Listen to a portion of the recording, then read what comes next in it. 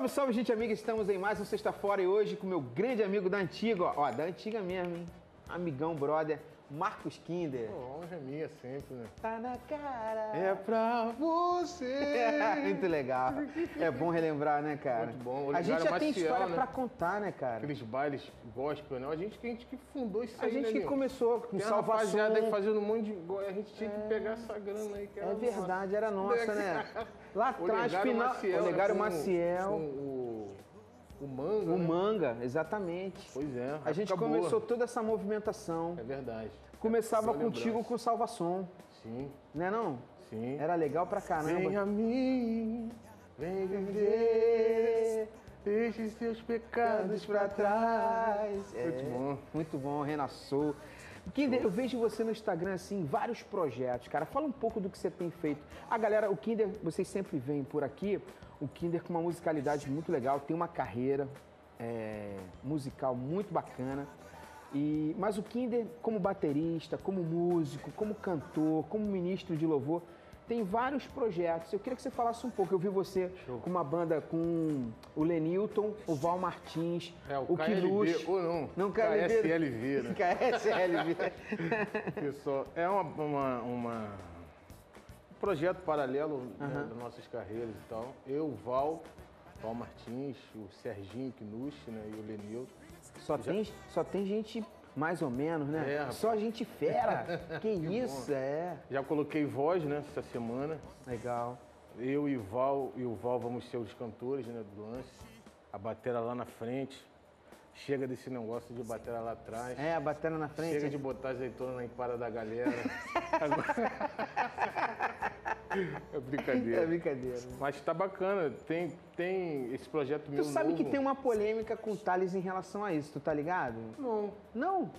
Ele numa De entrevista. azeitona? Não, de batera. De batera? De batera, que ele falou. Falar do Thales e de polêmica é um negócio reticente no nosso meio, né?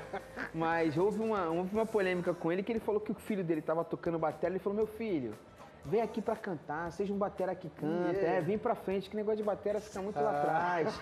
Aí tem uma polêmica também com ele em relação a é, isso. pois é, o batera fica lá atrás. Fica né? lá atrás, né? Mas você é um batera que canta. Pois é, por isso que eu já coloquei. é, agora nas minhas ministrações você sabe que é eu que toco batera e Aham, canto, né? aham. A batera fica lá na frente.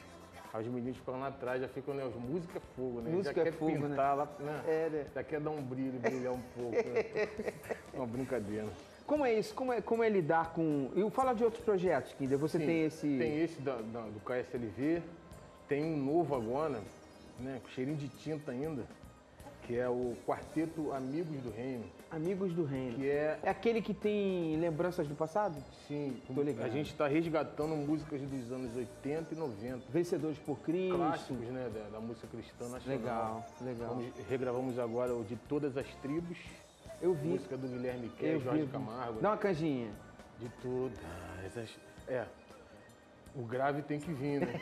Porque cantor é fogo de todas as. Não. De todas as tribos, povos e raças. Muitos virão te louvar. Bendito seja sempre o Cordeiro. Filho de Deus. Era um showzinho, né? Que eles... Fiquei feliz, Jorge Camargo e o Guilherme Legal. mandaram Vencedores. uma mensagem pra gente e tal. Poxa, não, vai lá, vai ser bacana. Estamos felizes, né? Com esse primeiro vídeo que a gente vai lançar agora. É legal, é legal esse resgate, né, Kinder? Pois é, rapaz, tá. tá- Eu acho que a música mundial tá, tá meio engraçada, né, Limpo? Assim, não é só a música cristã, não. Engraçado em que sentido? Tá meio ruim. Ruim, né, é, cara? assim. Eu falo ruim porque tá muito eletrônico, né, cara? Assim, o lance orgânico. Muito frio, né? É, muito assim. Perde, tal. perde um pouco É, aquela. tipo, quer ser você? Né? É. Aquele pessoal pulando, né, cara? Tal, assim, aquelas músicas, a questão poética também, a letra tá, tá meio. tá meio engraçado e tal. E a gente, é um desejo que eu tenho de muitos anos de. Eu já faço isso nos meus sim, discos, sim, né? Sempre sim. Sempre teus discos têm uma releitura, coisa. é. Sim.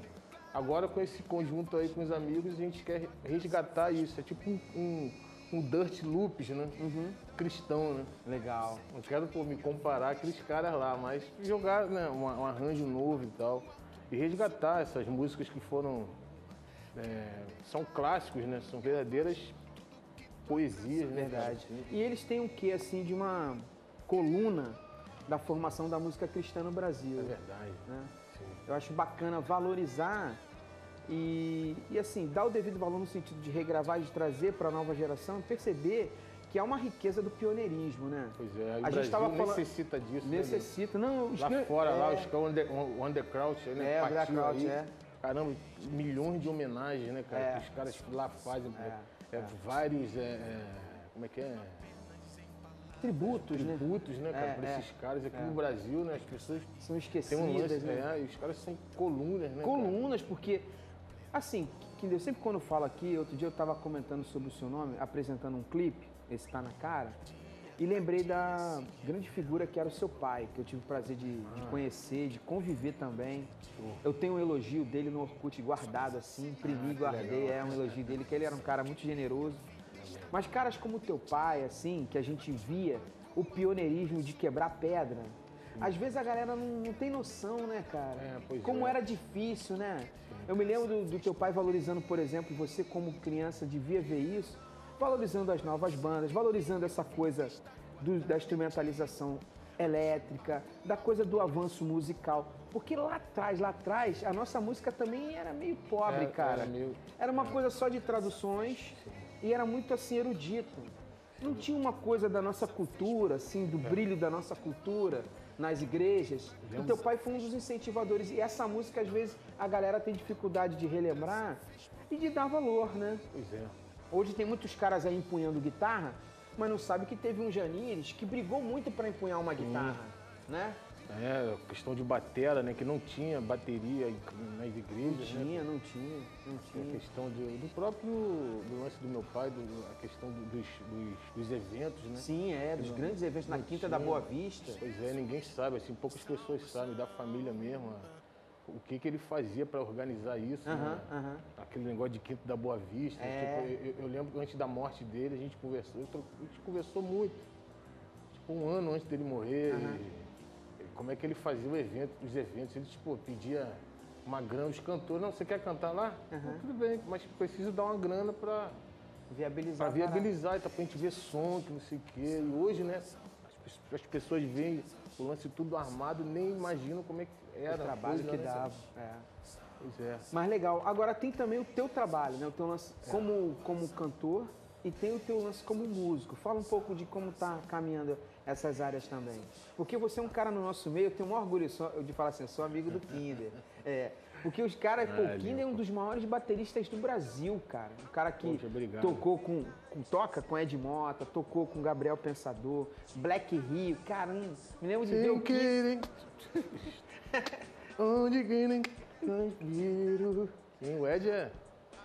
É, eu me inspiro, né, cara, no Ed, porque o pessoal fala que o Kinder, aqueles comentários do YouTube, eu não vejo muito não, né? Que Não. de vez em quando o pessoal pega pesado comigo. É, né? né? O Kinder é de Mota gospel, né? É de Mota gospel, é. e tal. Ele deveria...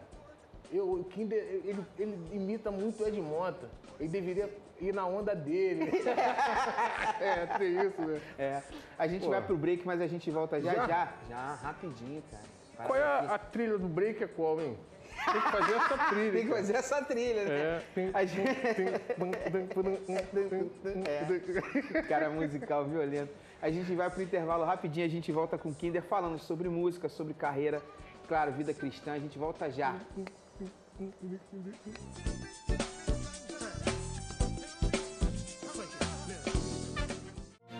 Não vá dizer sol. Legal, estamos de volta e eu aqui com meu amigo Marcos Kinder. Poxa, né? Altos papos. né? Altos papos, é muito bom. Sempre rever o. Kinder. Eu tenho o maior orgulho, tava falando no primeiro bloco, o maior orgulho de falar, bom, Kinder é meu amigo, cara, esse batera feríssimo, um dos maiores bateras do Brasil. Agora, aí existe, a gente estava comentando sobre isso, sobre as críticas, comentários. A gente já está alguns anos nisso, Kinder, acompanho você, tua carreira, a gente com envolvimento musical. Ainda existe muito preconceito do fato de você ser um músico e defender o seu salário, defender o seu sustento eh, de uma forma secular, da mesma forma que um médico, da mesma forma que um pipoqueiro, da mesma forma que um usineiro, da mesma forma que um artesão, que um pintor. O cara não chega na casa e fala, pô, essa casa mora crente, então eu vou pintar. Não, aqui não é de crente, então eu não vou pintar. Ou um cirurgião plástico, ele fala, vou te operar. Não, mas você é crente. Ou o paciente fala assim, cirurgião, você é evangélico para me operar? Agora com músico rapaz, ainda isso, né? existe esse Tem, negócio, existe, cara? Lincoln, existe, cara. A igreja, né? A igreja ficar sabendo que a gente toca lá fora. E eu tenho um trabalho, né? Eu tenho um ministério que eu ministro também nas igrejas e tal. Aí fica aquele. Não, vamos saber o que, que ele está fazendo. né? Aham. Aí fica sabendo que eu toco lá fora ainda. Até também a própria história, né? Uhum. A minha história lá fora, no no meio secular e tal. Existe ainda, é triste, né? É triste, né? Muito triste. Como é que você lida com isso, Kinder? Às vezes você chega num lugar, aí vem aquela entrevista antes, né? Eu já passei por isso, cara. É, eu faço de vez em quando. O cara chama no igreja- gabinete assim, aí começa, você vem da onde? Sim, é. Você é não sei o quê, você. E aí, qual é a Tem, sua, não sei tem. o quê. É aquele interrogatório. Aquele interrogatório, Na é. maciota. Na assim, maciota, é. tem, tem. Como é que tu lida com isso? Hoje eu tô só agradecendo a Deus. É. Senhor, obrigado pela oportunidade que eu, que eu estou aqui. Sim, orando por eles, né, cara? Por esse tipo de pessoa, né? É. Para Deus colocar mais amor e que ele possa entender mais, mais Deus, né? É, verdade. Isso, né?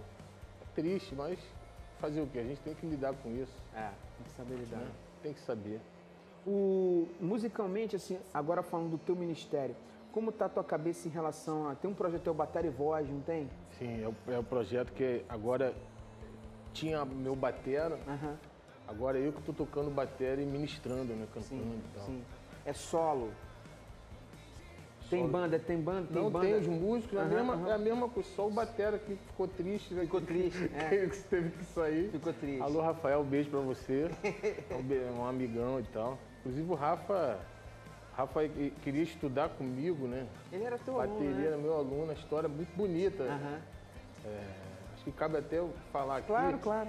que ele queria estudar comigo, mas ao mesmo tempo é, ele já estava desanimado por não ter da onde a região que ele onde ele morava não tinha oportunidade de ser músico e tal. Aí eu falei com ele, pô, rapaz, você já toca bem, cara. Pô, vamos fazer um lance comigo aí, fazer um teste aí, pra, vou mandar uma música pra você. Aí através disso, dele estar tocando comigo, que ele começou, a, ele virou realmente um batera profissional. Profissional, que Ele maneiro. hoje vive disso, né? Que cara? legal. Isso é bacana. Muito, muito, É. muito. E é isso, eu, eu ministro, agora eu toco, a bateria fica na frente e eu canto e toco, né? Os meninos ficam né, um pouco atrás, assim, só para dar É aquele... fácil, né? Tocar e cantar, batera, né? É, tem que ter aquela coordenação, né? É fácil. Aprendi na Black Rio. Na Black Rio. É, a né? banda Black Rio, né? Que na época eu, dei um, um- eu cantava umas músicas lá e tal, o, o menino não deu. Não, Era o podia Trick. cantar. Não era o Tri? É, o Trick, né? Tempo época boa, É, Cláudio época- Rosa, né? Isso, isso, isso. Sim. E eu cantava umas músicas lá. Carrossel. E era difícil, porque tinha o clique, né? É. A galera que não sabe aí, tem um clique lá que você toca, acompanha o computador, né? Com um monte de coisa. Era o clique. Que o William Magalhães adora. Basta o teu olhar.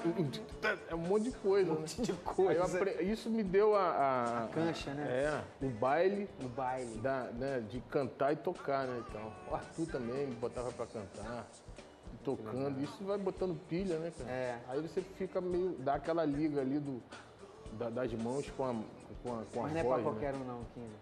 Não é um não. Tem gente que toca bem, mas não consegue cantar junto, É, né? não. Já perde o tempo. né? Não perde o tempo. Aí o cara se concentra em cantar e erra. É, pois é, o cara né, faz o.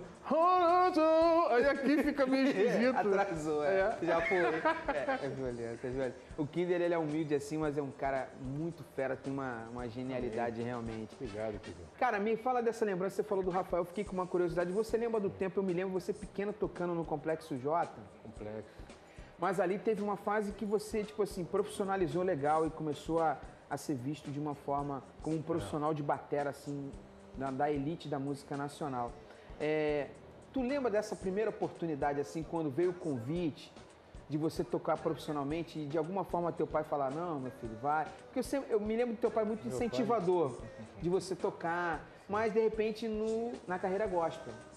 Tu lembra de algum momento desse início de fase de profissionalização como baterista, o olhar dele e o teu sentimento, assim, cara, pô, graças a Deus eu tive essa oportunidade. de ser- dessa mesma forma que você falou do Rafael, tu lembra do teu momento, assim? Ah, lembro.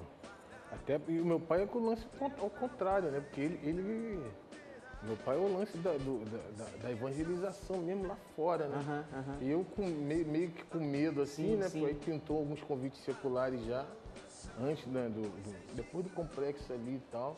Eu lembro que eu fui tocar com a filha do Carlos Lira, Sim. a Kay Lira. A né? Lira. E aí a gente já tava. Aí tava tudo ali, o Carlos Lira junto ali, né? Uhum. A gente começou a fazer show também junto ali. E eu, aí eu falei, pô, pai, você vai começar a tocar aí fora aí da igreja. Legal, é isso mesmo. Melhor tá lá do que tá aqui, tá aqui dentro da igreja.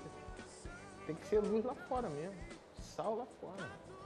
Aí meio que meu pai era muito assim seco, né? É. Não, quando ele era meio muito seco. reto. Ele era, tinha muita coisa, fazia muita coisa, não tinha tempo de ficar muito com a família e tal.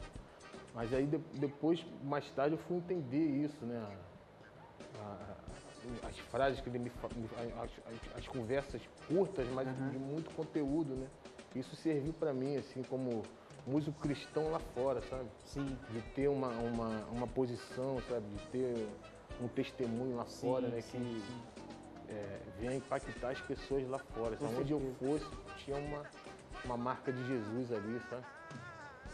Foi isso. A, a, a tua história, cara, me dá muito orgulho de, de te conhecer e ver como Deus foi generoso na tua vida, porque você, da minha geração, assim, é um dos caras mais destacados, assim. Eu sempre vi o Kinder de uma forma muito, assim, um legado que teu pai deixou na tua vida. E é muito bacana.